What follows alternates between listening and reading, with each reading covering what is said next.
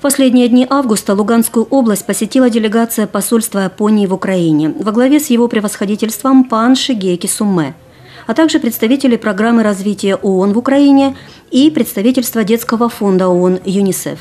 Участники международной миссии осмотрели объекты, которые были восстановлены при финансовой поддержке правительства Японии – Побывали в Кременском районе, где также есть объекты, ремонтируемые или вновь созданные за деньги Японии. Это уже реализованные бизнес-проекты «Арт-кафе» и мастерская по изготовлению и ремонту подушек, целый комплекс работ по Кременской школе номер два и насосная станция городского водоканала – за деньги Японии станция капитально отремонтирована снаружи, отремонтирована кровля, установлен новый насос и заменено электрооборудование на более современное энергоемкое. Общая сумма инвестиций – 115 тысяч долларов.